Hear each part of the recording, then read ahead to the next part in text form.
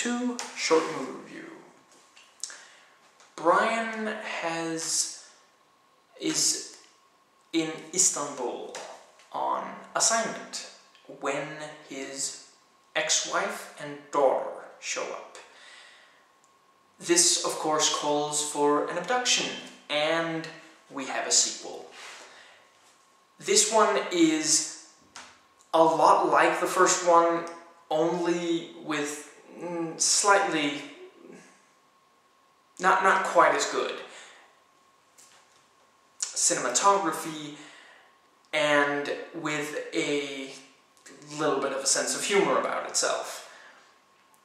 The the the pace is fast from right after the movie kicks it into high gear, which I didn't look at my watch, but I assume about you know half an hour in, like the first film.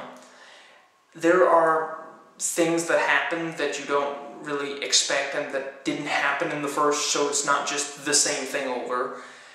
The misogyny is completely gone as far as I could tell, and the relationships between the Mills family have changed. They've developed off school, you know, between movies. Realistically, the daughter is not quite as innocent and girly, albeit there, she's not. She, you can still see that it's the same person. And Lenore is no longer a bitch, which I am really grateful for.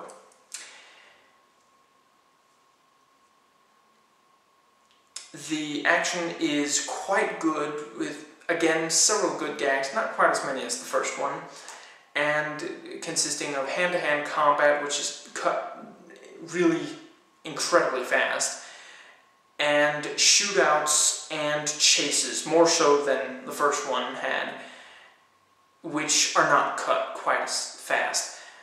This is a bit more Hollywood mainstream than the first one as partially evidenced by the more chases and more shootouts indicate. And it does go for bigger and better.